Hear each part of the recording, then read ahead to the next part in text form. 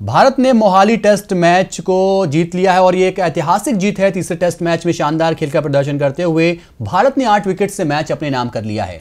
England ने मेजबान team के सामने 103 रनों का लक्ष्य रखा था, जिसे पूरा करने में भारत ने केवल दो विकेट गंवाए।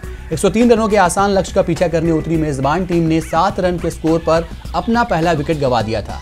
मुरली विजय बिना खाता खोले वॉक्स का शिकार बने, जिसके बाद पार्थिव और पुजारा के बीच हुई छियानवे रनों की साझेदारी टीम इंडिया को जीत के करीब ले गई। लेकिन पुजारा के रूप में भारत का दूसरा विकेट रूट ने लपका। पटेल सड़सठ रन और विराट कोहली छह रन बनाकर नाबाद रहे। रविंद्र जडेजा को उनके ऑलराउंड प्रदर्शन के लिए मैन ऑफ़ द मैच चुना गया। इस जीत के साथ ही भारत ने सीरीज़ में दो शून्य की बढ़त बना ली है। अगला मुकाबला मुंबई में 8 से 12 दिसंबर के बीच खेला जाएगा। इसके पहले चौथे दिन लंच के बाद भारत ने इंग्लैंड की दूसरी पारी को 236 रन पर समेट दिया था। भारत की स्पिन तिकड़ी आर अश्विन ने तीन, रविंद्र जडेजा और जयंत यादव ने दो दो विकेट लेकर दूसरी पारी में इंग्लैंड को 236 रनों पर पवेलियन भेज दिया था।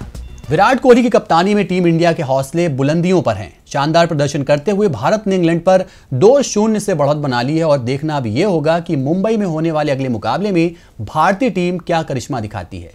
देखते रहिए डीबी लाइव।